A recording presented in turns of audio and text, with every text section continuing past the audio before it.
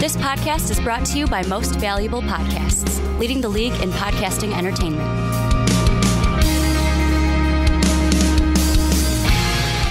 All right, everybody, and welcome to episode two of the Outcast with Buzz and Juice. Got my man Juice here. I am Buzz. Follow us on Twitter at MVP Buzzweed at MVP Juice Man. Um, if you're finding us on YouTube here, you know, drop a like, comment, a sub. That'd be great. You know, we try to comment to all you guys that were commenting on our first podcast that came out. We really appreciate all the good feedback that we got back and whatnot. It was awesome.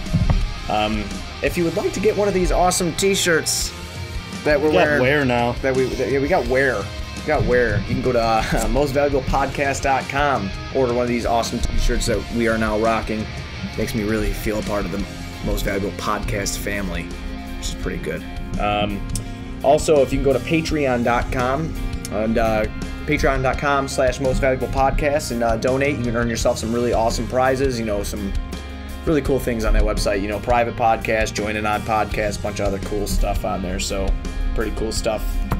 Pretty cool stuff there. And then if you're hearing us on iTunes, you can uh, give us a drop us a five star rating, comment on there. We'll try to comment back to you. Trying to you know stay stay with you guys all along the process. Every comment you guys do, we'll try to comment back, talk. You know, but we're mostly active on Twitter. Like that's that's where you can probably get a hold of us the most. YouTube, I'm still trying to figure out that whole comment section. Yeah, come at me, bro. Oh yeah, come at me. Not like come. Uh, uh, Yeah, but we're here. We have an awesome show planned for you guys today. Hitting some baseball talk, hitting some uh, Bulls talk, hitting some Bears talk. You know, here covering all Chicago sports. first of all, let's start. I'm, I'm surprised we're not canceled yet. oh, We were pretty. man, we were pretty we were lame. pretty lame. We had a few. We had a few mistakes. I said. I, I think I Especially said. with our feed, some of our feedback on our YouTube, I was like, man, I, I thought I thought Ricky was going to come down and bring us put us back to the Burger King. Oh man, I don't want to go back to Burger King. Me neither. That's okay. Like you know, like like Conor McGregor said about I, the Irish. You know, we're, Mm-hmm. we're not here to take part. We're here to take over. you know what I'm saying? Speaking of which, ten thousand subscribers on YouTube now, so that's oh yeah, huge. thank you. That that's so great. thank you to the fans. Uh, Yeah. Also, like he said, thanks for uh, commenting on our on our video and uh, reaching out to us on Twitter. If, uh, if you followed us, I hope we followed you back. If we didn't, you know, just send us a DM saying, "What the hell, man? You said you were gonna follow me." Yeah, I tried. I, I Um, tried to follow but everybody. we've been like overwhelmed with like how Yeah. awesome this start has gotten. Yeah, there's we've been gotten a- off to. It's Yeah. been pretty cool. Yeah, there's been a lot of people, a lot of people commenting towards us. You know, it's it's been the whole thing's been great all around. You know, I mean, feedback was pretty much good for the most part. I had a couple people. One guy said I looked like a meth head. well, you know, you, you can yeah, I could see it. Ah, okay. Well, I don't want to talk about I that mean, you look anymore. like a cooler version of Joe Dirt, but that's just me. Joe Dirt couldn't even grow. Whatever. I'm not even getting in this with you. But yeah, like I said, guys, you know, in the beginning, if you can just hit us up on YouTube, iTunes, you know, if you happen to visit Patreon, go ahead and donate all that cool stuff. Thank you for all the good, positive feedback that we did get and for the negative feedback we did get. Thank you for watching. Thank you for commenting. Thank you for taking a time out of your day to talk to us. That Yeah, means, still means the world to all- us, even though if we messed up, we need a stat guy. We do. We're and we we might have one. Yeah? We might. Oh, all right. We're gonna see though.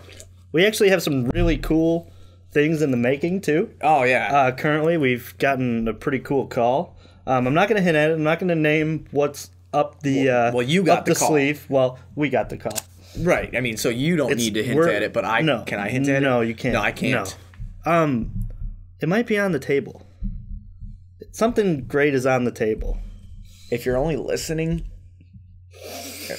you're not going to see Then- this. then you're not gonna see But it. if you're watching something that I'm doing right now, we may have something with that. But all right, We'll, we'll see. we will, we'll It's- see. It might be in the making. Who knows? We'll uh, we'll cross that bridge when we get there. This bridge we need to cross today is into uh, now. Episode one was kind of like our intro, uh, kind of introducing your the viewers to us, and now it's um, this is off and running now. Yeah, so we're gonna try to throw some segments into the show, things that we're gonna try to do every time, um, but we might not, um, based on feedback and based on um, what we uh, if we can come up with uh, a good theme for it. Um, we've already came up with a with a name with it. I, I would love you to introduce that, man. That's all. Uh, this is our segment. It's called "I Got Five on It." I got five on it. So if you remember the uh, the song from that was the '90s, wasn't it? Yeah, once we get a soundboard, we'll, we'll plug. We'll have the I got five on it. Yeah, Yeah, we'll have it, yep. That's also something we're kind of working on. So yeah, we got a lot that's going down the down the pipeline right now. So, but we're gonna we're gonna introduce I got five on it. All right, let's do it. Would so you like you guys can play around. We're gonna we're gonna do this new segment in um, I got five on it. It's gonna be five things that are huge for this. This one, for example, is gonna be five things. I got five on it.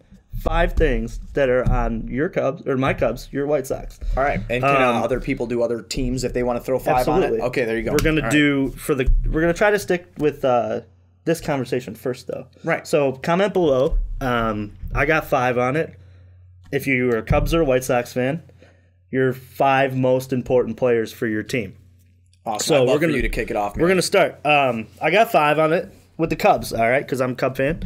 Um, I'm gonna name five up to one. My most, my you're least going from- important, all the way up Oh, to okay. up to my most important. I didn't make my list that way. but- Okay, well you can kind of. All right, cool. Um, five, Willson Contreras, I think, is the fifth most important on this top five list. Um, going into last year, I was a big Willson guy. I uh, I had the same um, idea that he was going to be that good, good last year, and before he got hurt with his hamstring, he was having he was an MVP tear. He was in an MVP conversation. He wasn't going to win MVP, but um, he was in that conversation. Um, I think that the thing for Willson is to stay healthy. He needs to grow with. There's a lot of new pitchers on this. This Yeah, uh, he's going to be learning a lot. he's he's gonna have to be, and he this makes the the argument for him at the five spot. He is the right-handed bat that is gonna hit behind your. You, know you're getting out of Rizzo and Bryant. They're gonna be mashers. They're gonna be in that lineup. They're probably gonna hit 300, around 30 home runs, driving 100 apiece. Willson Contreras, if he could be that guy who is that third, you know, that third head, Feared headed dragon lineup. Yeah, right. And hit 30 home runs and drive in 100, which that was his goal going into the year. Um, that lineup is transformed into something that is crazy at that point. It gives me chills, right. man. The, your hitting lineup gives me chills. Well- like I, I know we're doing, you know, I got five on it right now, but I think about it and I get so excited for next week when baseball actually baseball starts. actually starts. All right, man, keep going. I'm sorry, I just get all excited. No, it's that.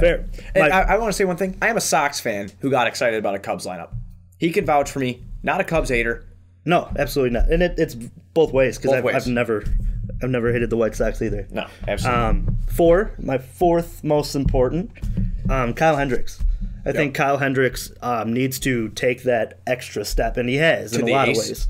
Um, he needs to become the ace of the squad as Lester gets older.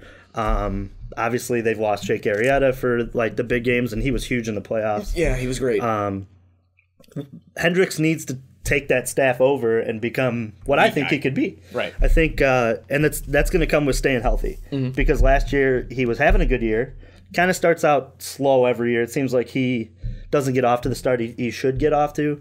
But I'm okay with that. I'm fine with him being a second half pitcher. Um, but he needs to stay healthy, become the staff as Lester falls off. You don't know what you're getting out of Yu, Darvish, because well, I, we all think that Yu Darvish could be a great player. I do, and I think he's going to be a great pitcher. I think he's going to be great for the Cubs. He is coming off, you know, a year ago with with surgery, and his last year didn't leave a good taste in his mouth going into the postseason. Right. Um, he had a great run with Yeah, he the a good- Dodgers. yeah. But if you look at that first half of the year with uh, with the Rangers, he didn't pitch very well, and that's kind of why they didn't get the most for him. Right. And that's why the Dodgers got. I mean, they got a huge haul because obviously it's you, Yu Darvish, and it's Right. It's the trade deadline, and you always pay more. But um, yeah, that that's my fourth uh, most important. My third, Kyle Schwarber. And coming I back think from- he's on the mind of every Chicago Cubs Yeah, and as and he what he's should. going to be. He's, And I- he's in tremendous shape if you've seen pictures Yeah, of him. he's he's lost a lot of weight. I think um, Kyle's put his um, best foot forward for this season. Good. He's been um, able to lose the weight, and he's been working crazily at, at his craft. Obviously, last year He'd wasn't still the be year that left he field for you, correct? I, he's gonna platoon out there. I think that he's gonna end up not getting. They got to find a place for all these guys to play. I know. Um, but I do think that come the playoffs, that left-handed bat, and if he's able to steal more bases than he used to, he's uh, he's a great base runner, and um, he's already had four home runs this spring, Mm-hmm. and he's had close to he had three steals in one game. I, it was early on in the in the spring in spring training, but Um, I think that he is very important because he's a left-handed power bat, and other than Rizzo, they don't really have a huge left-handed power bat. Happ, but Happ I think is going to end up being more of your leadoff guy Right. um, and it's not going to be a spot for him to really do a lot of damage. Um, Kyle's going to hit in that fifth or sixth spot, and he's going to have to be the guy at the bottom of the order wrecking havoc because you know your Bryant and your Rizzo aren't going to chase pitches; they're going to get on base. Contreras sitting no slouch. Contreras too is going to work a count, and going through that part of the lineup, Kyle's going to be expected to drive in a lot of runs at that at that spot. Right. So going to my second one, Okay. and it's a guy that isn't even on the team. Okay. He's not a Cub. I think Brad Hand is, and he's a reliever for the Padres. Um, he's going to be a trade chip because San Diego's not going to make the playoffs. Um, So he's something that you're trying to look forward my to. my question is, is do the Cubs get in on that? Because if you look at the back end of their bullpen, there's a lot of question marks. Um, obviously, you don't know what you're going to get out of Justin Wilson. You know, you know what you're going to get out of uh, Carl Edwards because he's always two faced. He's hot. He's cold. Um, and I think that maybe Brad Hand could come in and kind of provide some stability. Also, if he doesn't come here, who does he get traded to? As you see in baseball, these these huge um, major league teams, these bullpens, once it hits the playoffs, are even more huge than the hitting. Right. Um, having a shutdown guy to shorten the game to the fifth inning and to really get those starters out when they're getting the second and third appearance, I think are uh, it's huge for the Cubs to have a huge bullpen and a bullpen that could shut down at the end of the game. And if you look at the names uh, of the guys that are in the pen right now, it's a lot of question marks. Um, I like Edwards. I, I like CJ. I like I like Edwards. I like um, Justin Wilson, Yeah, Justin and this this kind of transitions into my number one. Um, I think the most important Cub for this year is Brandon Morrow. Uh, they signed him for a decent. I love that, man. That's decent- good. Yeah, okay, cool. I They signed him to a huge deal, not a huge deal, really kind of player friendly ish. Um, that's this is the deal that the Cubs signed really quick. Um, Tyler Chatwood was obviously the first they they kicked off. His, he's our fifth starter, but um, going into um, the offseason, addressing the bullpen was huge. And it was almost like you, they knew Wade Davis was going to leave because he got paid. Yeah. well, Um, but I think it's huge that he needs to stay healthy Mm-hmm. because he hasn't stayed healthy in the past. Obviously, last year he did, and he had a great season, but he was the eighth inning guy. Right. So that's the can he be the closer? Um, if he fails, who's the closer? It's not Edwards because Edwards is. We've tried that before. Right. He's not that guy. think it lights a fire under him? I, I think that in baseball, the Like way for to get good paid. competition yeah, between I, him and Morrow? I I do. I hope that CJ gets the first crack at the games that Morrow can't go.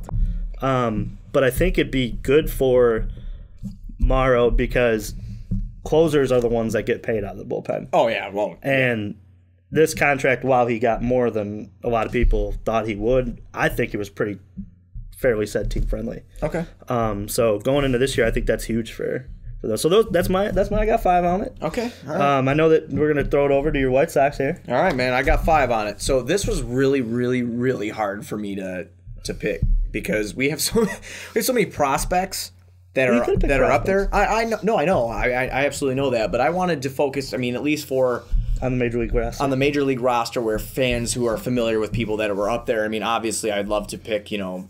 Your Nicky Delmonico for somebody that you would watch because he came up and made a huge impact last year, as you know. He was Right. Mm-hmm. He was that dude was on fire. But um, this is my you um you got five on it here so Moncada Yoán Moncada he is my first they moved him to the leadoff role for the White Sox this year which is huge that's a big task and if you if you guys know like in my opinion for the White Sox the last good leadoff hitter we had was Scott Podsednik and I don't care what anybody says he was the last good leadoff hi- hitter that I that is a household. Which I'll touch name. on that too. Moncada, I think that the leadoff position has obviously changed in baseball. It's more Right. um, on base percentage stuff. exactly Um, I think that this move, putting him in the leadoff, transitions the team into a new um, era. Because really, if you look at it, it's not speed guys who steal bases anymore. It's let's let's get these guys at the top of the lineup to try to get as most at bats as we can. Well, fun fact about Moncada over the last two years of being in the minors before he came on over to the majors, he stole 94 bases in two years in minor league. Wow.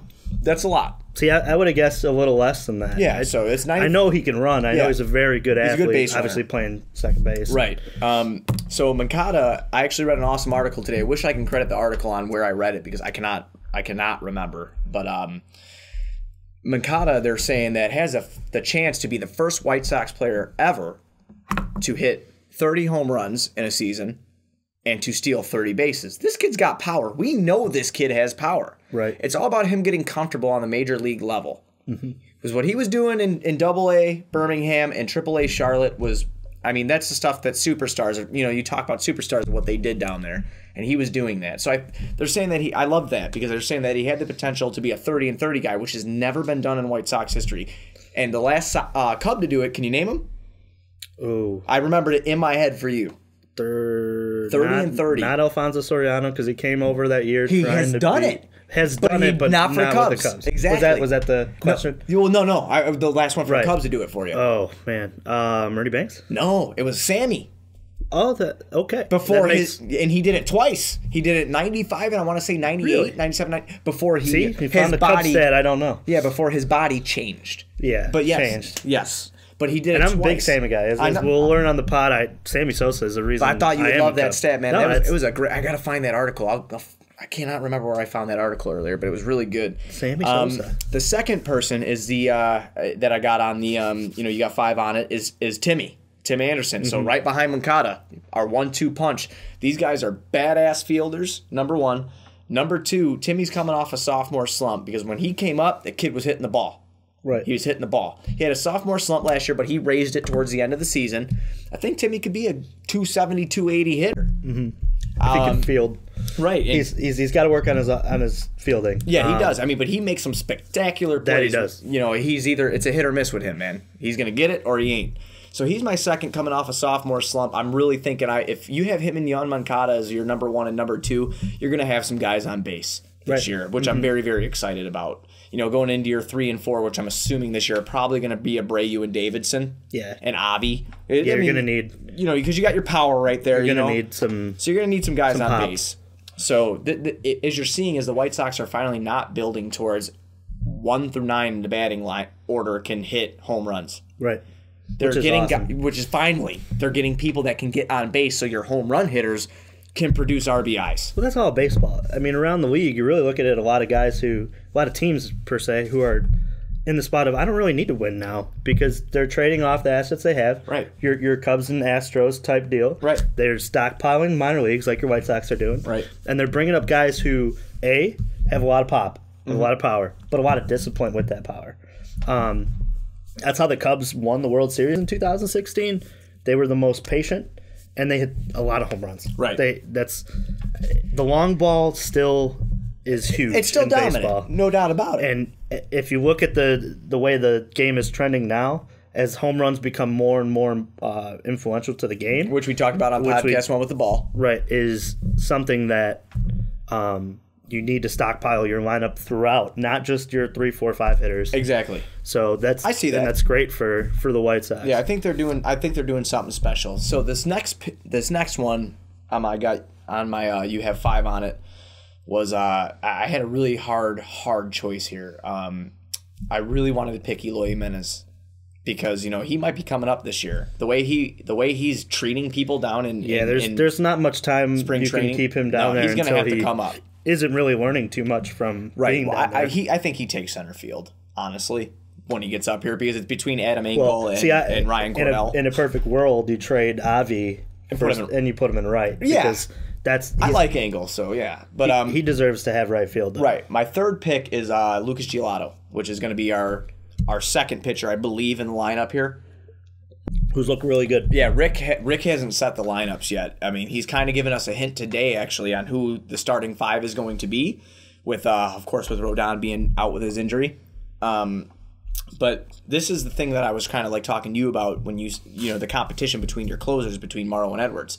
I feel there's going to be a competition here because I think Giolito, how he's shown what he had last year in his arsenal, he's shown in the spring training what he has. Rodon is going to be coming back from injury, and Rodon is going to want that ace position. This dude is the third overall pick in the 2014 draft, Rodon, but Giolito has showed me more. and even coming off Tommy John, Right. he has showed me more than Rodon has in his years with the White Sox. I just wonder, like, as this this whole plan um, forwards, what that like the Cubs brought in Jon Lester, Mm-hmm. and that was the guy that was going to pitch your big games. With the White Sox, it's going to be totally different because they're going to have at least five guys to be in that that rotation, and it's almost going to be like a competition to be the guy. well, we can always. and we're going to talk about that with a different team Right. later on in the pod, but right. We can competition to be mm, sorry to cut you off, it's but competition to be the guy in this rotation with this young, I it's think is a lot better set than you know. Obviously, the Cubs have paid for a lot of their pitching. The White Sox are not going to have to do that. They Let's might hope not. Well, right. Going. I think the White Sox in free agency will end up spending more money in, in the bullpen. Yeah. and maybe position players than the Cubs did. The Cubs kind of paid starting pitchers. Right. So the White Sox, really, when you look at it, you're going to have your Giolito, you're going to have your Ronaldo your Ronaldo Lopez. Lopez. You're going to have Dylan Cease. You're going to have Kopech. You're going to have four guys there who are going to be young, and they're going to be all competing to be the ace. Right. And competing for ace money at that point, too, because Right. Once they come up to the major leagues, the clock's on to when they get paid. Well, and that's the thing about Giolito is like you know everybody, and this is just even going back two years. The one-two punch of Chris Sale and Jose Quintana was feared. I don't care if we sucked. Right. It was feared because no one can hit off these people. Which I'm so happy he's in a Cub uniform. Hey, I'll tell you what, man. For I, I was telling I was telling Juice here. Um, I had read an article again. I wish I could cite the, the website, um, but I can't. But it was stat guy, yeah, I need a stat guy, but um, article guy. article guy, stat guy, whatever. But um, Jose Quintana was so grateful to stay here in Chicago, which I love that. I, I, love that. But Right. man, my third was uh, was Giolito. I think that he can prove to be the ace, and then if Dylan Cease and Michael Kopech want to come up and give a little bit of friendly competition, I'd love that too. But Rodon, I don't know yet. My fourth is Jose Abreu. Jose Abreu is going to be playing for a contract. Jose, but the reason I like to keep in this, I've, I've touched on this in the first episode. My, you, you have to watch him. You know what Jose Abreu is going to give you. He's going to have a slow start, then he's going to come out in May and hit 380 with eight, seven, seven, eight, nine home runs, and, and you know get his average back up there. He's going to consistently hit for you. Very slow starts with Jose Abreu, but now that he's getting later in his career, and all this youth is coming from where he's from, Right. you know, hit, I mean, again, I said it in the first the first podcast here, the Cuban connection. That, that- that's for real. I think he's going to take less money to stay here. I just want to keep an eye on him all year because I really want to see if his veteran presence shines through. And then um, my fifth is my fifth, you know, pick here is, is Rodon. And the reason it's Rodon is because I do believe that Rodon has some fire. I, I believe he has some stuff. And uh, if he wants in, in this crowded pitching lineup that the Sox had for starters, and I'm not ruling out Carson Fulmer by any means necessary because I had a really hard time picking between Rodon and Fulmer for my five here. Because Fulmer, he finally had a good outing two days ago. Um, but other than that, he is really looking like a reliever to me. Maybe at best case scenario, a setup, man. I don't know if he's going to be able to be a starter, but when Rodon comes back from his injury, he's, he did some throwing today, actually. Um, when he comes back from his injury, I would really like to see what happens. Does he get handed the ace role if we go through two months of the season and Giolito's got a 2.30 ERA or something like that? You know, Right. does he get handed the ace spot? And that's what I'm, I'm wondering, but it, like I said, for the White Sox, for your Cubs, I feel like it's an easier pick. You guys are established. You're a badass baseball team. You're winners. You know what's going on. Where where a bunch, we were where you were in 2013, 2014, 2015. Where, that's where we're at right, Right. now. We're trying to figure out who we are, what we're going to be, and I feel that um, Rick Hahn has done nothing but the best for this franchise uh, with all these with all these acquisitions of um, of prospects because you know a lot of them are turning out. The only thing that I, I do not like, and I feel like that someone is in Rick Hahn's ear about it, Kenny Williams, is bringing these guys up too early. I do think Moncada came up too early last year, but how he's hitting right now in spring training, the confidence that he seems to have behind him in his new role with Rick Renteria, and I, I, I do still believe, and people aren't gonna like this, I still do believe that Rick Renteria is the. Unfortunately, it's going to happen to him with two Chicago teams. Ah, man, I, I really hope not. I hope I not. hope against it. I hope against it too. I felt I as a Cub fan, I think he's going into it. I felt so bad when it got to the end, and it it was like, all right, all this talent's coming up. He had dealt with a lot of bad, bad baseball for Yeah. and they And just said- finally got a good but, team, I mean, then- don't get me wrong. I, I was very pleased the fact that Joe Maddon was my, my manager at the Right. end of the end of the day. But Well, you know, we do have Jerry, and Jerry Reinsdorf is one loyal guy. And uh, but that's that's I think Rick's gonna get a shot. that's I- mine, man. I, I, do. really enjoyed yours. I really enjoyed that you actually threw somebody that wasn't a part of the team in there, like you know, just to be on the lookout. I thought that was really cool. So I really enjoyed yours. Yeah, was- no, we're gonna we're gonna work. I got five on it as much as we can. Oh no, I dude, I 'cause we can do that with every team. I thoroughly enjoyed that. That was fun. we need we need a little little play in. Oh, I we know, a little. I- I, got. Can you do it? I got five on it. Uh, I don't want to. Uh, can I do the rap part where I swear? No. Of course you can. All right. Um, would you like to transition? Absolutely. All right, we're going to transition into some Chicago Bulls talk. But before we do, if you guys have any comments you want to make on what we just talked about with the Cubs and with the White Sox, please let us know. You know, we, me and Kyle are huge, Juice, Kyle, whatever you want to call him. We're huge, huge, you know, baseball fans. So, like, you know, we're always trying to go to games when we have the chances. It can be getting harder for me to be able to do this. Yeah, that's, we should we should address the uh, the elephant in the room. What's that? Oh, oh, yeah. This this man next time you view a podcast may be a father. Yeah, I probably this will probably be the last podcast that we have without me having a baby here, which I am super excited for. But I'll tell you, man, eh, knowing me and Kyle how close we've been for years, that baby will be in a stupid ass car seat in our cars on the way to the cell. It's the cell. Yeah, always is the cell. I'm not calling it Comiskey because we See, were. I'm kind of hoping that she'd be she's just a Cub fan because she just looks at Kris Bryant's dreamy eyes and goes, I'm She's going gonna to be a lesbian. That's So- something your father would say. Yep. So anyway, um, so that that way we can bond together and be like, oh yeah, that chick's hot, you know. we got that. Only only you would spin that in some way. That, uh, Absolutely. but no, we'll be either going to the cellar or we'll be going to Wrigley to have. You we know, should have go Bulls talk before we uh, we get canceled here. Oh my god, that's so funny though. All right, yeah, but transitioning into Bull talk. Bulls talk. Bull talk. Mark Schanowski from CSN Sports did a uh, interview the other day. There's a two part interview. Only one part is up online for some reason. I cannot find the other part. I didn't really extensively search for it on YouTube, but Yeah, uh, the kid's got a baby coming. Give Yeah, exactly. break. I've been busy. Give him a break. But uh, I sent it to Juice Man's um, Twitter, so if you guys want to actually find it, you can probably find it on his Twitter. I had tagged him in it. Yeah, while you're following me. it was the big three.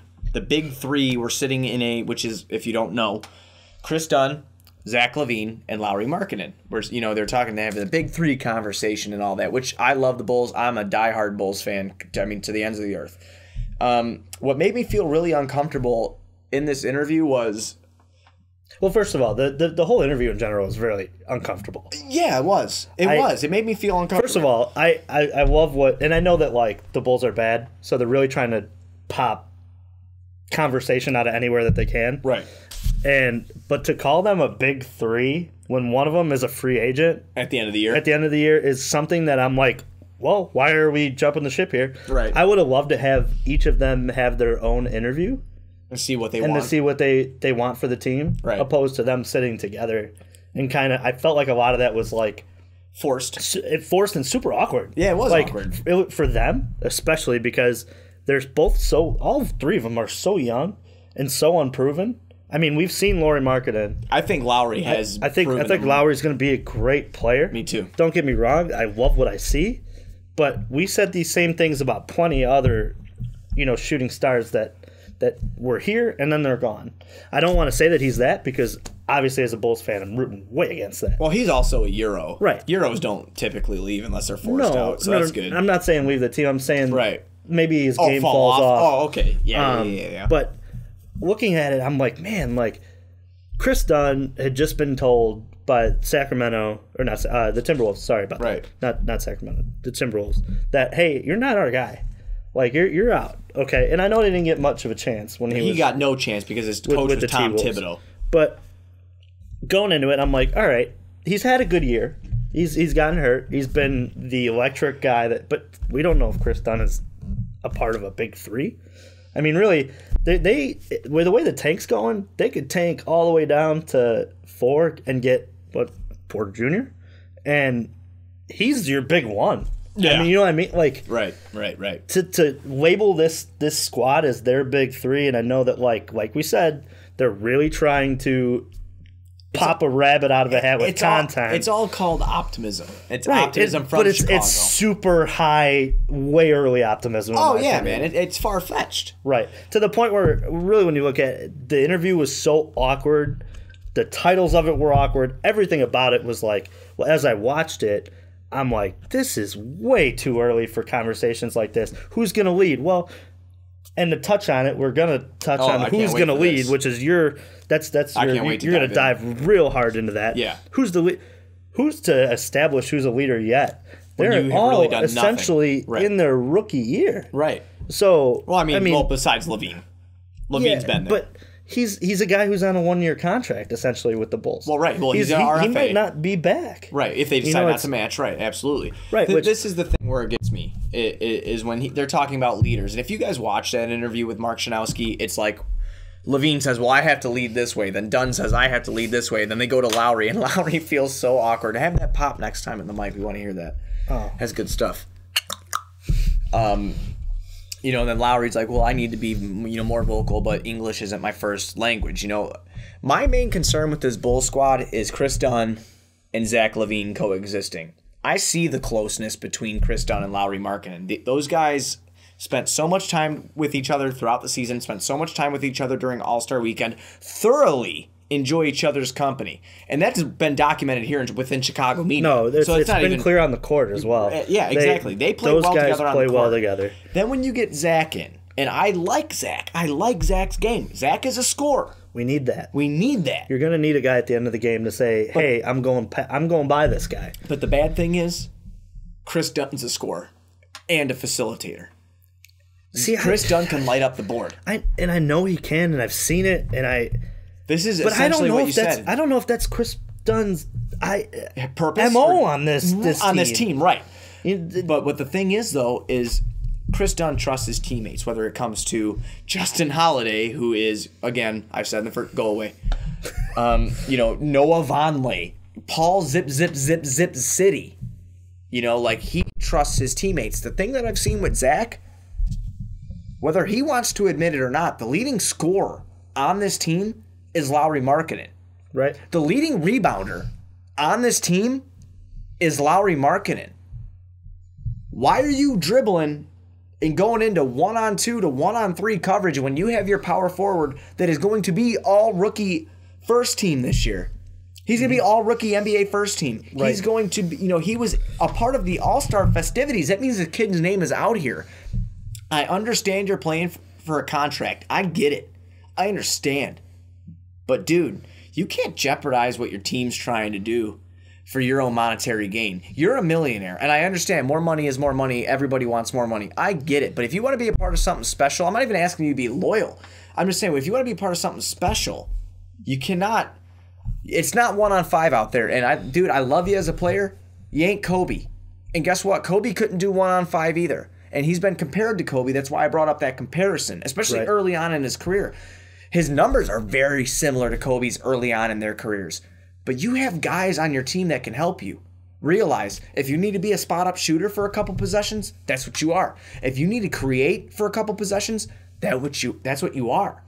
That's what you need to be. You need to be the star. If you want to be the star, you need to do everything that a LeBron, an MJ, a Kevin Durant, a Russell Westbrook and, does. to, and to kind of touch on that, you, you compare him I to got Kobe. very mad. Right, you did. That was man. I feel like I should run through a wall right now. Thank you. But to touch on that as well, like you compare him to Kobe. All right, you compare him to to what Kobe never won without Shaq or Paul Gasol. Exactly. Michael never won without Scotty. Exactly. You know, Kevin Durant never won without two of the best shooters in our lifetime. LeBron needed Wade and Bosh, Kyrie and Love. well, that's that's a lot. Uh, Right. they all need something. No, yeah, it's it. If you're a team guy, like there comes a point in your career, and Michael had to do it too, and Kobe had to do it as well. You have to trust your teammates. You have to trust what's put in front of you, and those are the guys that are going to help you get there. Obviously, Kobe had Shaq, a top tenor. Oh, You know, absolutely. Mike, it's different conversation because while we both love what Scotty brought to, you know, the Bulls, Scotty top fifty or not top twenty. I don't. I don't put Scotty in top twenty. I, I put Scotty in top 50, though.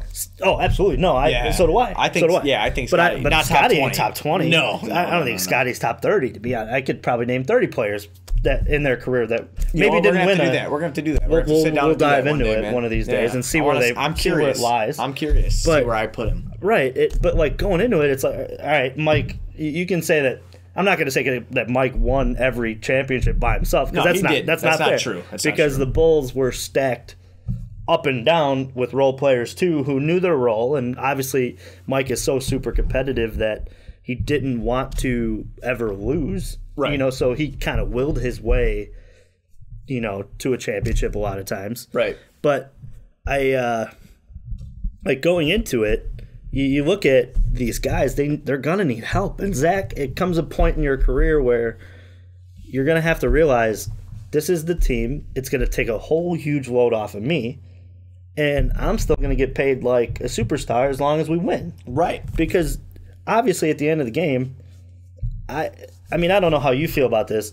I want the ball in Zach LaVine's hands because he can create for other players and create for himself. I want the ball. In, are you talking about the end of game? I'm I- it, ten seconds left in the game. I want Zach LaVine.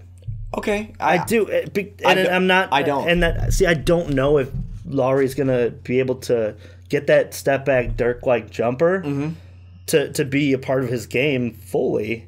That's So- that's who I'm putting the ball. And I'm- that's I'm and that's and that's something that like if if it ends up being you know if he ends up getting that shot, I'm I would love to see him at at the end of the game in a post up situation, but knowing what I know right now, Zach is going to get a shot for himself and take a shot. Yeah. And I, I'm at least going to get a good look because he can go by a lot of people. Well, the, the thing that annoys me most about about Zach right now is the fact that he, you know, the, the leader comments, man. That's just something I don't like. It's something I don't like, and the reason I don't like it is, man, you're coming off a torn ACL.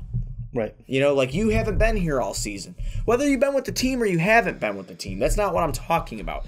What I'm talking about is you haven't been playing on the court the full season with the team. You have no right to say I need to be a better leader out on the court because you know in your head, and if you're not smart enough to get it, man, I'm gonna let you know. I'm a little older older than you. I haven't been in the same profession of you, obvious, obviously, but you don't come in to a team midseason and say I need to be a better leader out on the court. You haven't been here enough. You're 22 years old, buddy. You got traded by one of your teams with a torn ACL, all right? And I, I like you. I think that you can be the truth. I think you could be very, very good for this team. I think you could be a building block for this team. But I call it right now. Though, if someone offers you a max contract right now, I'm dipping. Yeah. I'm dipping. And I don't think the Bulls match a max contract. I don't think But they do either. Do you really think Zach gets a max contract? From I anybody? think Detroit comes along like they did with Ben Gordon and offers this crazy amount of money that the Bulls aren't Well, you know, willing to match, or not just Detroit, but any team, any team. And at that point, doesn't that change the Bulls' draft outlook at that? It does. I- it I- does. But that's the other thing too. Are you If, really if- gonna say hypothetically that happens, your boy's coming over, dude. You've been talking about all year, Mikal Bridges. I, I see him coming. I, I I think that Mikal fits even with Zach though. That's that's my Well, right, me too. Mikal, Right. Mikal's a six seven guard slash forward that Right, but the game goes small anyway. Right, They're goes gonna small end up, anyway, but you know, Mikal is Lauri a- at a five is going to be something that I don't they're going like to look Lauri at. at the five. I don't either, but a shooting lineup like that is Oh, yeah, exactly right. what Golden State does, and that Right. wins championships now. Well, if you, You know, ever, that's- if you ever do look, man, Golden State does have McGee in a lot at, at C and and, and, er, and Yeah, and- not at the end of the game. Though. and Pachulia. At, at the No, end of the game, no, a lot. no. It's it's the small lineup, and that's what causes the misma- mismatches that um, you But I mean- see on the court. I think for me and getting you know upset upset at Zach and stuff like that, it's just like I love Zach LaVine because he's here, he's a part of the team. He said all the right things so far for the most part.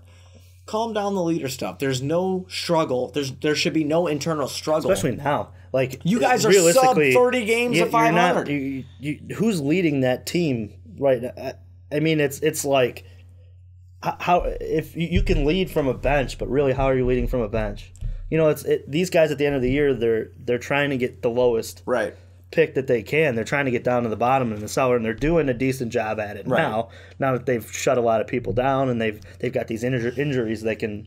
Oh, yeah, kinda- they're gonna write them off for the tank and whatever. Right. But but I- like as of now, I felt like the timing of that that interview was kind of unfortunate for them. Yeah, me too. I, I, oh, I- I felt like it was just wrongly placed. I honestly, But, like, I would love to see that interview. CSN, like- I, I would honestly love to see that interview in the beginning of next season. I would have even better see it at the All Star break, this year's All Star break. Yeah, but Zach And then you get a- like eight, nine games under his belt. Right, and you get those three in there. Don't call it a big three, and get those three in as the young core, and you say and you ask these questions. Right. You know, because obviously Zach only being eight games in, he doesn't feel entitled to say this is my team. Right. You know, you got Kris Dunn who is coming back and, and, and getting back into his game and getting a chance to play. And Lauri, who's like, hey man, this is my first year. I'm trying to learn the league. Right. Those are how they answer those questions. One thing I want to ask you about Kris Dunn real quick, and like you give me your honest to God opinion. You're an NBA freak, just like I am. Right. Grew up playing basketball together. So, uh, Kris Dunn this year, you think he should win Most Improved Player? I and we've talked about this off air. I do. I think that I mean, I know Oladipo went crazy. I know Aaron Gordon went kind of crazy, but those guys have been putting up numbers like that for a, a minute. and those right? guys, right? Those guys have been established really in the NBA for a, a decent amount. A decent of amount of years. I mean, they've been stuck in cellar, you know, franchises for a little bit. Right. To up your game, though, to up your game from, you know, in your rookie year when you're the fifth pick, I believe, the fifth pick in the NBA draft, to up your game from no playing time. I understand it was Thibodeau. I get it. But still, to up and to uh, up your game from three points and like two assists a game to 13 and six. And that being shows in the true- Rising Star and being in the competition. Rising Stars game because if he was still under Thibodeau, guess what? No, he's not getting a Rising Star. You ain't there. Invite. I honestly, and it's not just because I love the Bulls. If I, I'm a basketball nut, man. I love everything about it. I love, I love everything about it. I honestly think that that kid should have a couple nods as most improved player of the year, even though And I think he will. I think he'll get a couple. uh, He'll get some traction. I, I would like to see at least ten or eleven votes, and then I'd be, Agreed. I'd be fine with that. But because I think Oladipo's getting it because he's basically led Indiana to a playoff. Everybody loves Paul George. I am not a Paul George fan. I don't think he. I mean, not that I don't like him eh, or his game or anything like that, but as a star, I don't think Paul George is a star. He's like that. You know what? He's like that veteran that used to be on his team that can kind of get you there, but would never get you there. Danny Granger. right.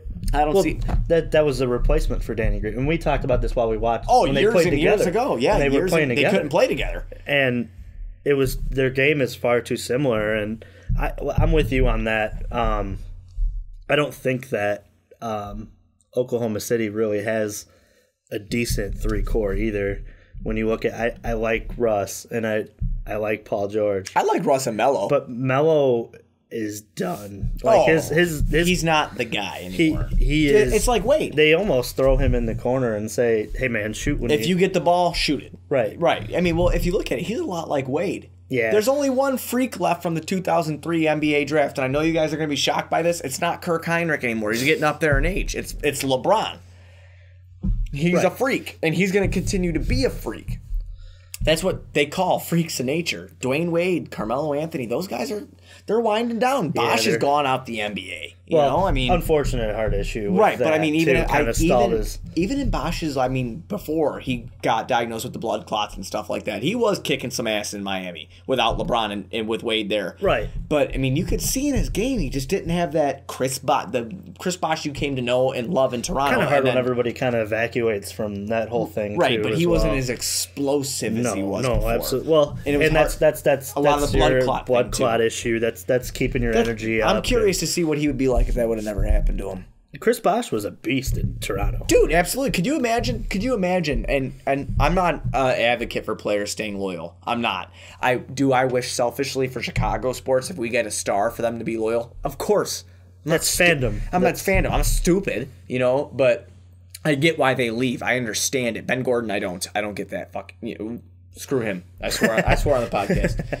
Anyway, um, We're allowed for that. Oh, we are allowed for that. I've, yeah. Okay. But anyway, I we get one. Ricky told us we get one. We get two, one. so we can't say it. Okay, we can't say it again. But um, Chris Bosh, if he would have stuck around Toronto with like Oof, man, with with Kyle Lowry. I don't know if they would have got Lowry though, because remember Lowry came from like you know the Rockets and stuff like that. I don't know if they would have got Lowry, but if they they did have DeRozan, right, like I wonder what that would have been like if they would have got a serviceable point guard and they would have been able to. we should dive into that one time and just kind of look. Oh, back. I I know know- that's not like, us. I know but we're Chicago we're based, but Chicago, teams still, that- that's interesting. Yeah, Like, maybe like a, like what- a like teams what that could have been. Right. Yeah, absolutely. That'd be. I mean, the. Bulls have plenty of their what ifs going through our years. Oh, I'm telling you what, right I mean, now. what man. if Michael wouldn't have left? What if they would have got Kirk Hinrich out? Oh my god! Here we go. That's a perfect That's usually when the transition thing point. ends. That's a perfect That's transition why. That's when we end basketball. I, I do right want to plug something real quick. If you guys are ever thirsty, you should have a smart water because they're they taste like water and They they are do good. pretty good from the clouds. And then we are sipping on today, you know, because we did this in the first podcast. We are obviously we're just hanging We're out. gonna keep drinking beer. going. We're gonna keep going, but we're having uh I'm having a Galaxy Hero, and this was actually my first ever Well, we both had both of these, uh, which was fantastic. Northwest Hero. Northwest And Kyle Hero. says I've had one before. I don't Yeah, remember. He doesn't remember it though, which is normal. That's fine. But this is my favorite one, man. I used to be a huge anti-hero guy, but I love Galaxy Hero. But Yeah, I went with the Denali hero here for the second one. Denali It's Hero the- is good. The purple one. What was the other one for summer? That The Sun Crusher. Yeah, the Sun Crusher. Coming, coming back. Oh, I, yeah, I'm, we're I'm a ready fan for of some. Sun Crush. Yeah, absolutely. But that's a perfect transition point. We would like to uh, have our first fake sponsor. This was a segment that Kyle and I had written down on a piece of paper before. um, it's called Human Dog Cages. If your spouse is out of line, put them in a cage. Shout out to our buddy Aaron. Oh, jeez. Oh no. This, this. All right, transition time. Transition into to his Bears favorite talk. team. Yeah, to his yeah, yeah, transition to his favorite team, Bears talk here. So um, you know, First, we're gonna we're gonna dive into. you want- if I'm gonna take this over, Go you ahead, go mind. ahead, go ahead. We're gonna take It's over you. some some Mitch Trubisky talk because uh, he was at the Bulls game uh, last night or two nights ago, and uh, he was approached, had an interview, um, was real off the cuff, um, talking about the acquisitions of obviously a Rob and um, Taylor Gabriel. Gabriel, and uh, talking with about Matt Nagy because there hasn't been a lot, which I've been kind of surprised about. There hasn't been a lot of Mitch Trubisky, Matt Nagy talk oh, yeah. opposed to Uh, like are you talking about them like together. media wise? I, and, and not just that. I mean, obviously, like there's been when Nagy was signed, there was a lot of talk Yeah. about um, his relationship with Mitch Trubisky, but you haven't really gotten a lot of takes from the mouth of both of them. Oh yeah, absolutely. So I thought that, like- Mitch. Mitch is a yeah, Mitch. Well, Mitch has been one- working out a yeah. lot. He's He- one of those dudes though, man, that are like under the radar. which I love. Yeah, I like as, it, too. As It's not like that's what that's what. Well, our last real quarterback was with uh, Kristin Cavallari, so you know what he Right, was he doing was- all the time. You know where he was. You get Can to you see, blame him? You get to see his bare ass on her Instagram. Can you blame him? I wish I had a tight ass like that. Jesus. Go ahead. So we're gonna we're gonna dive into Mitch Trubisky. He obviously uh, was approached at this uh, this Bears game, and he had a lot of things to say about the new acquisitions. And uh, Rich Campbell wrote this on Chicago Tribune, um, talking about. I'm just gonna read a couple excerpts that Mitch uh, Trubisky said regarding the uh, the new offense and a lot of things coming in. That's a good Uh, article. It's actually a really good article. it by is, the way. dude. I'm gonna plug it just because I know that you know, as a Bears fan, you should look out and read it. And there's a lot of things from this that I think gives like the you know the bird's eye view of what what's gonna be next year for Right. the Bears. Absolutely. Um, Absolutely. and uh, he says, "Can't wait. It's going to be a very explo- It's going to be very explosive." I'm assuming that was asked about the offense. Um, we're going to see a lot more uh, run run pass options. Can't we're going to see that. screen game, uh, get the ball out quick, and we're going to uh, do some deep shots. Everything that I'm good at that you've seen at North Carolina and some stuff we even ran last year. Which kind of we're going to kind of just we're going to as as we're as we go here we can you know address each each comment here. Mitch Trubisky sounds really excited, Which is like, great. Which and, and if you listen to the interview, I don't, I'm not sure if this was actually from the interview or this was like kind of off the off the camera. But listening to the interview, Mitch Trubisky seems ready, like, and all these guys are working out together and ready to go, and it's really interesting Isn't that he in Cali with Kevin White in them? he was with Kevin White. Uh, Taylor Gabriel was walking around uh, Soldier Field with his or Hallis Hall With his jersey. with, I his saw jersey on, yeah, Um, which I thought was hilarious. I love that they see something in that kid though. right. It, and A couple I mean, established receivers see something in him. which is awesome. And they were talking. Um, uh, they were talking the other day about Mitch Trubisky. Uh, Ch- Chase Daniels was talking about how they had studied a lot of the quarterbacks in the league um, who were doing a lot of this run pass option type, type stuff. And the Bears run a, ran a little bit of it last year towards the end. And Chase Daniels was saying how impressed he was with Mitch Trubisky and how his skill set really fits this offense. And I think it's it's kind of like opening the door without um, Matt Nagy coming. You can really see why Matt Nagy chose to be here. Right. Because, I mean, at the end of the day, if you look at Mitch Trubisky's skill set, he could throw the ball deep. He's great on the run. He is a guy who could walk up and identify a defense. It's basically like an untapped potential type thing. Right. It's like when you see this for Nagy's purpose and in his agenda is like you see, okay, if I go to Chicago, I know I have this kid that I've been I've looked at that can be the real deal. I'm not saying he is now, Right. but he can be with development become the real deal. And and you know what, dude? As we've gone on, as we've talked about the Bears, and unfortunately, like if you guys want an argument show, it's not going to happen here because we usually agree with everything about the Bears because like we're just so. It's not. well, this isn't this isn't first take. Yeah, right. Um, at the end of the day, we're going to talk Chicago Bears, and if we, you we- might get those times during Oh, the year. we disagree me. a lot. We do, but um, but you're not going to get that here because we there's there's a lot of times that we take the, the obvious look at, at sports, and that's that's what this show is going to be a I lot feel of. that but Nagy really, came Nagy is because Trubisky shows the quality of this kid can win me games no matter who I put in front of him. A Rob and Gabriel are, are, are a plus. Cohen and Howard are a plus. Um, Shaheen and um, Burton are going to be pluses. But who knows with this kid? Maybe he makes. Um, you know, give me a third, a fourth receiver here, Bellamy. Maybe he makes Bellamy with a full year, really working with well, a, a, that's another a- a thing we can dive in at the end of here because we're going to talk a lot about free agency. Right. Well, I'm just saying, like next. nobody's superstars like Brady and, and Aaron Rodgers have Right. done. Absolutely. I mean, there's there's been a lot And of I'm not saying Josh Bellamy or nobody. Um, you, no. It's uh, that's not what I'm saying. But you're not. I'll say it. Go ahead. Okay. He's a nobody. You suck. No, but like we'll we'll dive in some more of the interview here. I'm going to read another excerpt. Right. Go it. ahead, man. I love this. We're just going to do more of it. We're going to get the ball out to our playmakers in open space and just hide the ball, play action, more flashy stuff in the backfield to hide the ball. It's not going to be run right at you. It's going to be more tricky stuff. Which I love that. This, this is the That one, one expert ex- that I, yeah. I highlighted. Yeah. Because I said, never in my Bears life. And these guys, the, the guys who have watched the team, Bears life. you know, the guys who have watched the team longer than we have, comment below. But have you seen a coach that is going to take this skill set and use the word tricky? Because you know that these two have talked. Oh, You know, absolutely. and, Are you serious? he's, he's obviously gotten the playbook. He's going to utilize the hell out of this. He's gotten the playbook. So Tr- Trubisky's looking at it this offseason going, we're going to run this. This is tricky. right. You know, so you're going to see. Obviously, we watched um, last year that they had the um, the two point conversion play on on the goal line there, where uh, Mitch Trubisky actually they they they like lateraled the ball a couple times. Oh yeah, absolutely. and They- then you they saw make in the Super Bowl. You saw in the Super Bowl that you know um, with the Eagles they threw that off the Burton through to uh, Nick Foles Right. in the end zone. I'm looking for things like that.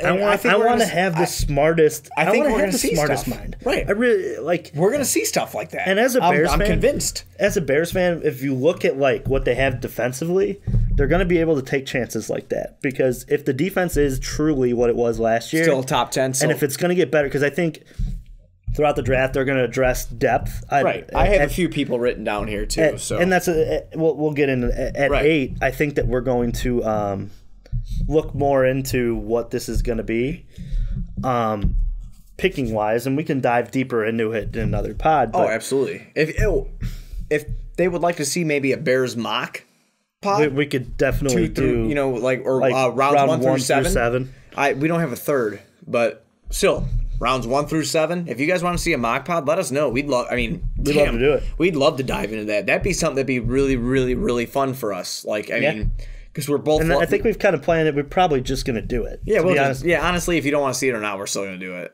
But if yeah, to like to dive into the whole thing, I'm really happy that like tricky is like going to be something in the play in Yeah, the me Bears too, playbook me because too. I've never been more excited for an offense. Minus, I, I was excited when they, excuse me, when they had Trestman and they had the two beasts on the outside, and we all looked at Matt please Forte let me this. elaborate on that. But no, and we will just give me one second. Okay, I'll I'll and like I was excited about that, but I think I'm more excited for Mitch Trubisky and RPOs and tricky.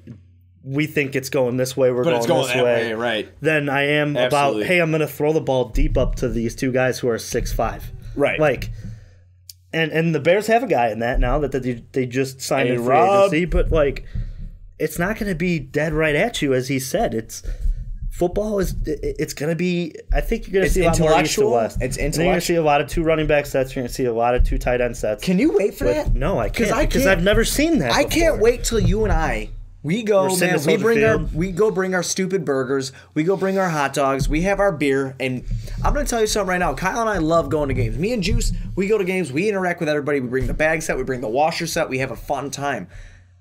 I guarantee you, the first game we go to this year, as much as I love it, I ain't drinking. down. I, I'm putting it down. I want to see what this team is really gonna do, and where I wanted to elaborate off of you're talking about Trestman is a few. I mean, a few comments that came to us, which again we are so grateful. Keep commenting, no matter what. But uh, I mean, we like I said, we want to interact with you. We want to be different. I don't want to be that YouTube channel. I don't want to be that that iTunes podcast. I don't want to be that Twitter that where you you know ask us a question and then you're like, okay, well, I just wasted ten seconds of my day because they never answered me.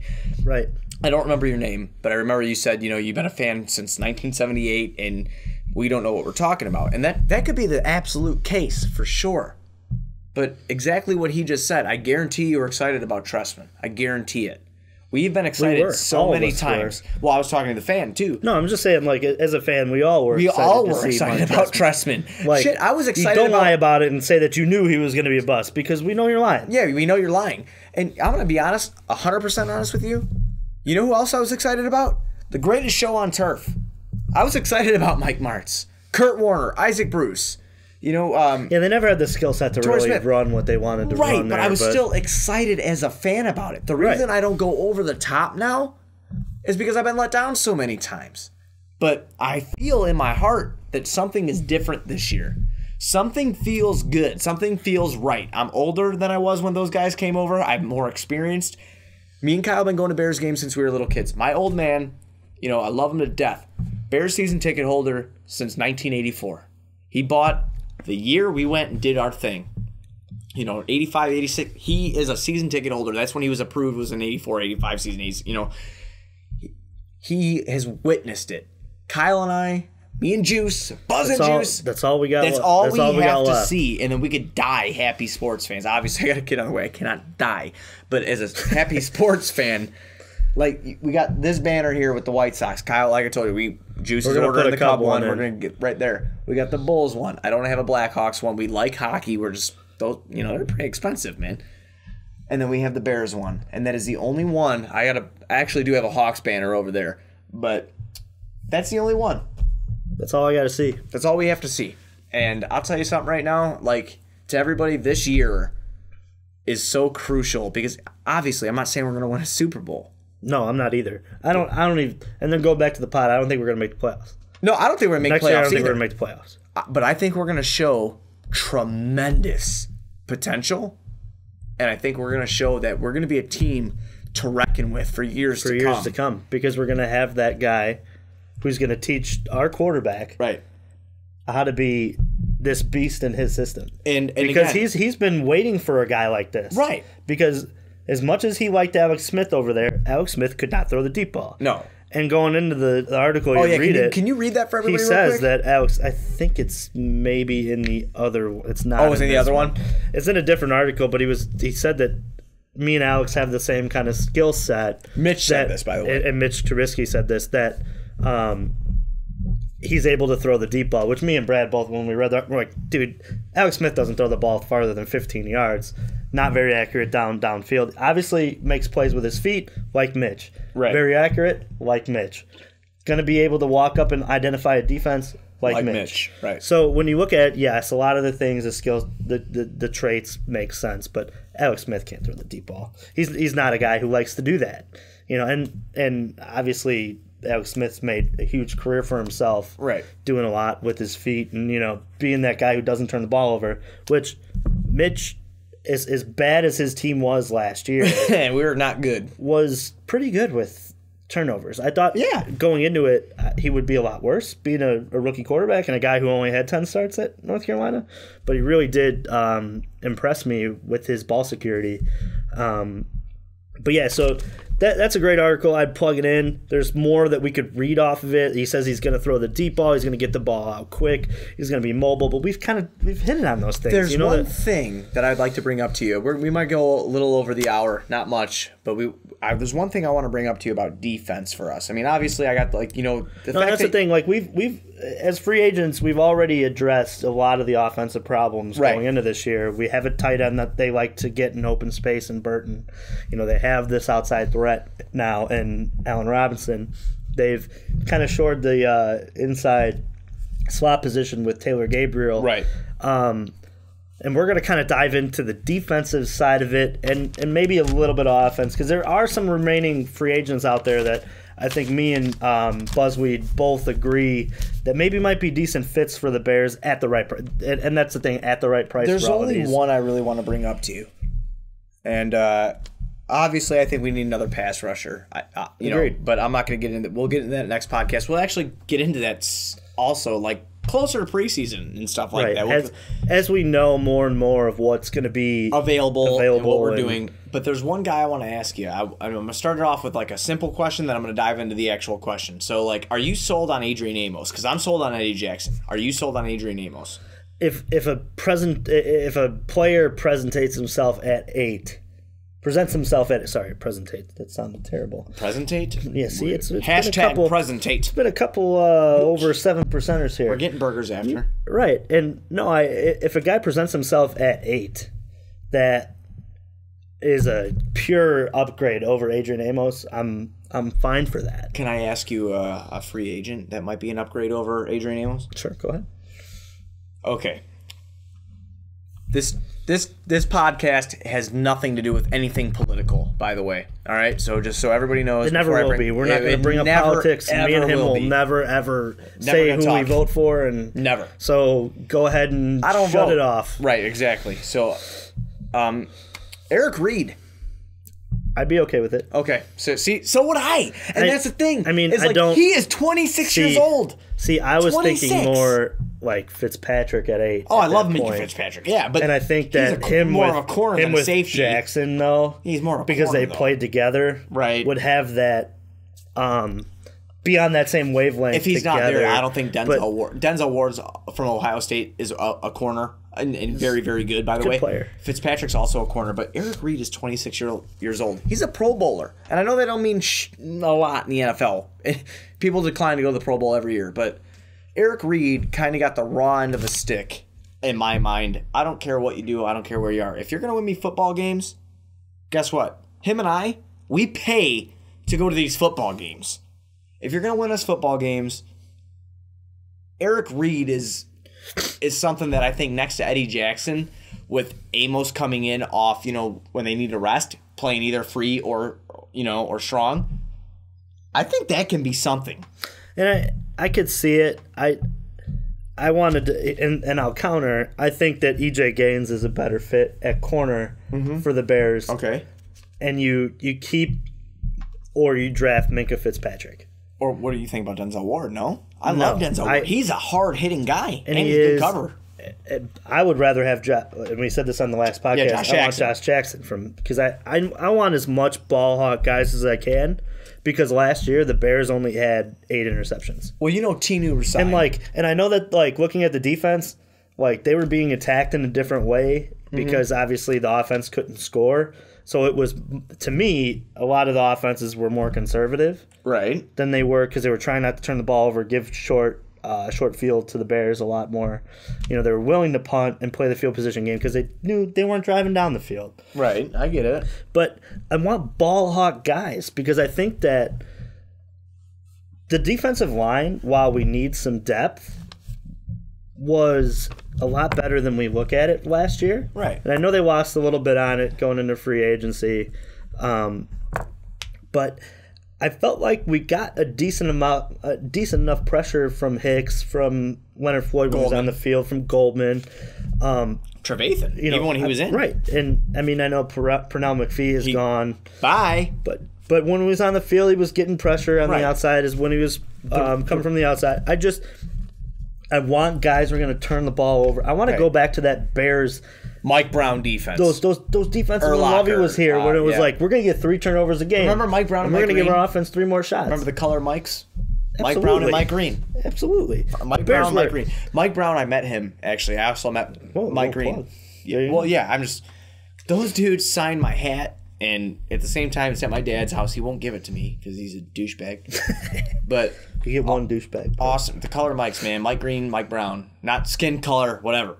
That's their last names. Like that. Those guys are so. I would love to see a defense like that. And with, you know, our linebacking core, I'm still a fan of. I love Floyd. I love Trevathan. I don't care what any Chicago fan says. Kwiatkoski played some badass games last year. Right. And we just resigned Tinu today. Hmm. I'm saying that if we can land a Minkah Fitzpatrick or a Denzel Ward to be that third corner, See, but I don't think that. The, Or Josh know, Jackson? That's, kind of going into like the whole draft here, though. I don't. Oh, right. I'm just saying that it's Eric. tough to. It's tough to. The, Bears have done enough in free agency to be flexible at eight. Right, I- like that's the cool thing, and I know that's a that's like so. I think going into this draft, they're going to try to be as flexible as they can. Right. and they're going to evaluate by who they think's a better player. They're Right. not going to evaluate by by need here. I think we'll. I think we'll dive more into that too once draft time comes. I'm just. I'm saying that there's so many things that we can do to have a top five offense and a top five defense, and you guys know what that means. That means we're coming, and I'm still a firm believer that this year we're going eight and eight or nine and seven. I will pick. I'll lock in I right now. the under on that. I'll I lock seven in. and nine. I'll lock in right Tough. now. It's a tough schedule. Right, it's a very tough schedule, but I'm locking in right now at nine and seven for the Chicago Bears. I hope to God I'm proven wrong, and maybe for this 26 year old kid here who's doing a podcast for everybody to listen to, I will be proven wrong, so I get more optimism, more hope behind my heart because I'm sick of losing. I, agreed. I'm, I'm sick of losing. I'm boat. sick of going to games and sitting there in the sub the below money. temperature. Yeah, the exactly. money is just so And- and- high and to go, and I'm not even bitching drink. about it because I I will. I love every second of being I there. have fun. But like the extra cost that comes with. I'm just the saying, whole- before the we were 20 the beer, the, Before we were even 21 though, and we could drink there. Come on, man. Four dollars for a water. right, like six dollars for a pop while we're 16 year old kids 17 year old kids and yeah do we have a little bit of a silver spoon in our mouth growing up not really neither of us but our our dads made you know good decisions. I didn't have goddamn air conditioning. You know what i'm saying? But i had bear season t- you know bear season tickets you know? That's that's sacrifice. well, i'll tell you what we lived in a one bedroom trailer.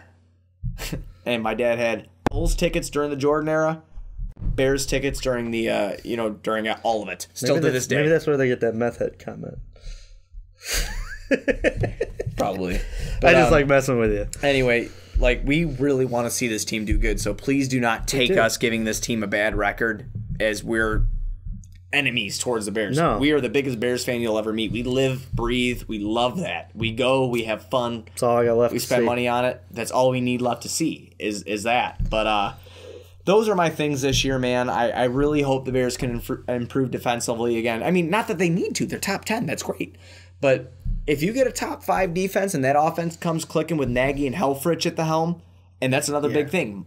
Nagy and Helfrich, Helfrich ran one of the fastest offenses in the world at Oregon. Mm-hmm. And then you got Nagy, who obviously we saw what he did with KC.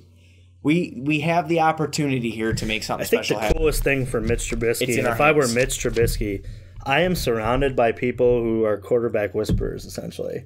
I am surrounded by people who are successful with running offenses, who are going to put me in situations to succeed. And the head coach that I have is. He came here based on my skill set. And that's So there is no. and how flattering is that though? no, that's That's huge. when he ha- when he does this inter- this interview and he is so damn excited. Scroll like that why, again. Why? sh- why should he not be? Right. And that's. Ugh, go Bears. Yeah, there we go, man. And that you know what? That's a perfect way to end it. Go Bears. Um, again, I said this in the beginning of the show, but check us out on YouTube. And if you are watching on YouTube, drop a like, a comment, and a sub to the most valuable podcast page. We just hit over ten thousand followers thanks to you. So, Absolutely. To thank you. you. Thank you for even watching Yeah, us. thank you for watching us. Um, if you're listening on iTunes, drop us a five star rating. Throw a comment in there. We will try to comment the best We will. that we can to and that. if you've seen on I the last video, we comment on iTunes. uh, we'll figure it out. Okay. We'll call you. Yeah. Oh, be like, hey, what's going on, man? Leave Yeah. your number below it. You go. There you go. Yeah, leave your number. We'll call you. I don't. I'm not really sure. No, we won't. But if you want an awesome T-shirt that me and uh, the Me and the Juice, Man, are wearing right here, you go to mostvaluablepodcast.com.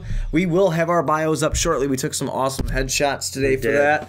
Um, you know, you go there, you order a T-shirt, And then uh, patreon.com slash most valuable podcast. If you would like to go donate to our cause, man, maybe help help us out with, you know, if you want better equipment, if you want to see different things that we're not doing. You know, uh, me and we will tell you this one thing. We're not going to tell you what our sponsor may be if it ever happens. If it doesn't, all right. But um, Juice and I are going to be, uh, you know, trying to get some um, mics in here, like actual Yeah. nice mics where we both have the, you know, the whole headphone set, kind of like a Joe Rogan kind A of little thing. step up from the whole Burger King Yeah. uh, behind it eating Whoppers. Though this is a great mic and it, it serves its purpose, but we feel like this can become something thanks to you and thanks to all the feedback that we have gotten. Through and join the army ordeal. early because Yeah. you know The you don't want podcast to end up being like while we're like a million viewers and like and we can't respond. and then you're a Seahawks fan and you know you're just jumping on the 12th man at that point. Did you just rip Tony's brother? Yeah, absolutely. All right. no, I would not. Andrew, you're the man. Yeah, Little but uh, dab. little dab. Um, but yeah, no, it's uh, you know, we thank you for everything, and you know, if you can check out all those all that stuff that I just plugged. Also, I'm gonna plug this real quick, and I promise I do it after every podcast. For right now, thank you for the intro song from Circa Survive. Your champion, Super Bowl champion, Philadelphia Eagles. Uh, that's where they're Pains from. every time. Yeah, it's all right, but they're a great band. No, man. they are. tattooed all over Listen me. to them all week on the way to Indy this week. while I was Absolutely great band. Um, we would also like to thank Bulls Scripted for tweeting us out and telling people to be on the lookout lookout for us. So if And you our boy Ed Werder. oh oh yeah, I was gonna get to him in a minute, but also at Three Guys Sports who also tweeted us out to everybody. Um, if you guys can go follow the at Bulls Sorry, three at guys. Three Guys three guys Sports. You're It's just when as cool as Ed Werder. Absolutely. But today, Ed Werder, or I'm sorry, not today, but two days ago, Ed Yeah, Werder tweeted us out, and uh, If you're new to the podcast because of Ed Werder, comment below yeah, seriously, comment and below. say, "Hey, Ed Werder is my guy." Like, I'll tell you guys something right now. If when we're tailgating at Soldier Field, and you drop one of them comments in there that we're here because of Ed Werder and you're from Chicago, come on through. We got Beers we got ribs, burgers. beers, whatever you want waiting for you. Just let us know so we can bring enough. But uh, as for my man Juice, we're gonna leave off like last time. As for my man Juice here, I am Buzz. This was the Outcast with Buzz and Juice. Thank you, uh, Revolution, for making great beer. absolutely. And uh, thank you, everybody else, for watching. And we uh, will be back next week with episode three. I don't know what we're going to talk about yet, but we'll figure it out. If you want to throw us some ideas, let us know. But for us, that's it for now, man. Peace. Thank you